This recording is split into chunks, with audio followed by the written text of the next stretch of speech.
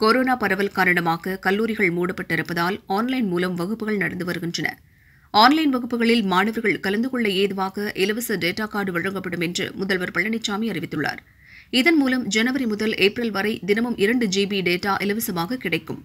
அரசு மற்றும் அரசு உதவி பெறும் கலை மற்றும் அறிவியல் கல்லூரிகள் பாலிடெக்னிக் பொறியியல் கல்லூரிகள் மற்றும் கல்வி உதவித்தொகை பெறும் சுயநிதி கல்லூரிகளில் பயிலும் ஒன்பது புள்ளி ஆறு ஒன்பது லட்சம் மாணவ மாணவிகளுக்கு எல்காட் நிறுவனத்தின் மூலம் இலவச டேட்டா கார்டு வழங்கப்படும் என்று முதல்வர் அறிவித்துள்ளார்.